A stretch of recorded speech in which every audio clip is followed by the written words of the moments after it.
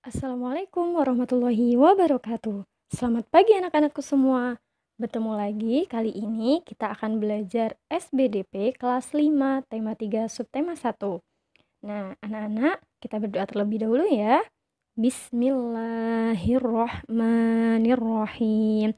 Rabbi zidni ilman warzuqni fahman.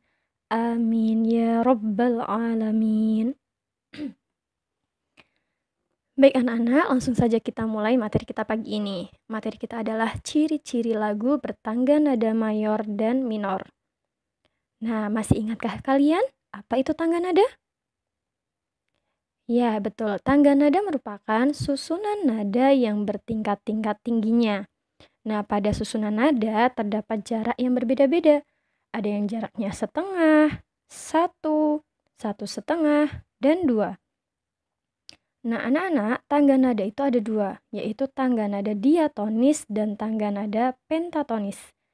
Kalian tahu apa itu tangga nada diatonis? Ya, tangga nada diatonis terdiri dari tujuh buah nada.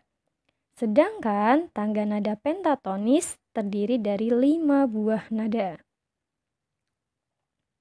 Nah, tangga nada diatonis itu terbagi menjadi dua kembali, yaitu tangga nada diatonis mayor dan tangga nada diatonis minor. Apa sih ciri-ciri dari kedua tangga nada ini? Nah, jika tangga nada diatonis minor itu bersifat sedih, namun tangga nada diatonis mayor bersifat riang gembira. Kemudian, untuk tangga nada diatonis minor itu terdengar kurang bersemangat. Namun, tangga nada diatonis mayor terdengar bersemangat. Selanjutnya, untuk melodi lagu minor biasanya diawali dan diakhiri nada La sama dengan A, namun bisa juga diawali nada Mi. Pada diatonis mayor, melodi lagu biasanya diawali dan diakhiri nada Do sama dengan C, namun ada pula yang diawali dengan nada Sol atau Mi dan diakhiri nada Do. Sekarang kita bedakan intervalnya. Pada tangga nada diatonis minor mempunyai interval satu setengah, satu satu setengah, satu satu. Untuk nada diatonis mayor, intervalnya satu satu setengah, satu satu satu setengah. Anak-anak, perhatikan contoh lagu berikut ya. Betapa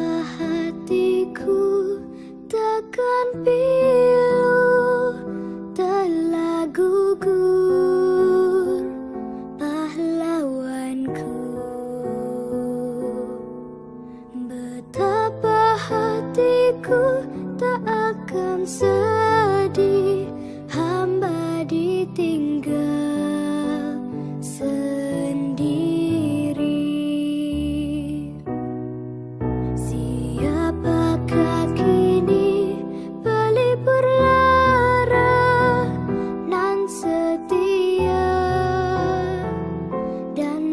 are we?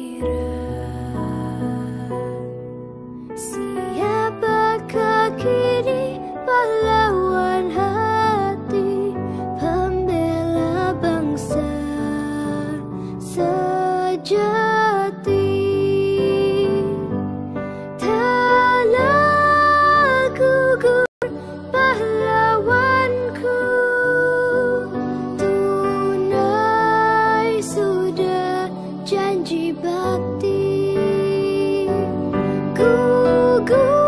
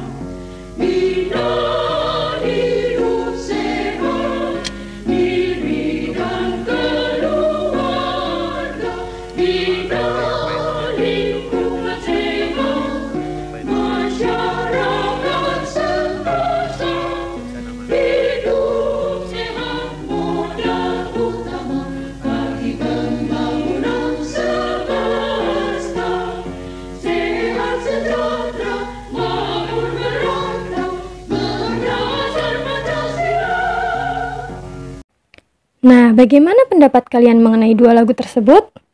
Kira-kira manakah lagu yang memiliki tangga nada diatonis minor dan manakah lagu yang memiliki tangga nada diatonis mayor?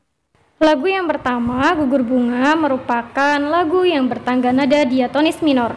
Sedangkan lagu kedua, Mars Hidup Sehat, adalah tangga nada diatonis mayor.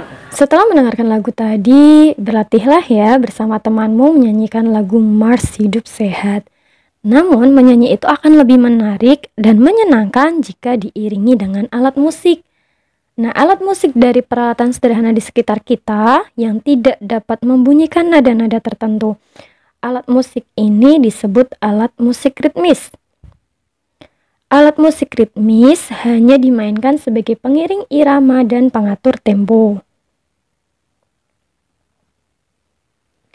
Alat musik ritmis dimainkan dengan cara dipukul. Namun, ada pula yang dimainkan dengan digesek dan digoyangkan. Nah, contoh alat musik ritmis yaitu ada kendang, ada triangle, ada drum, ada tamborin, dan tifa. Itu adalah contoh alat musik ritmis. Nah, coba amati sekelilingmu. Pasti banyak benda yang dapat dijadikan sebagai alat musik ritmis. Contohnya, pensil, tempat pensil, batu, kerikil, meja, dan botol plastik. Nah, benda-benda tersebut dapat dijadikan sebagai alat musik ritmis. Namun, agar enak didengar, maka bunyi alat musik ritmis harus diharmonisasikan dan diselaraskan dengan lagu. Baik anak-anak, itu dia materi kita pagi ini. Semoga apa yang kita pelajari bermanfaat ya. Bu Guru akhiri sampai di sini. Kita baca hamdalah bersama-sama yuk. Alhamdulillahi Alamin. Wassalamualaikum warahmatullahi wabarakatuh.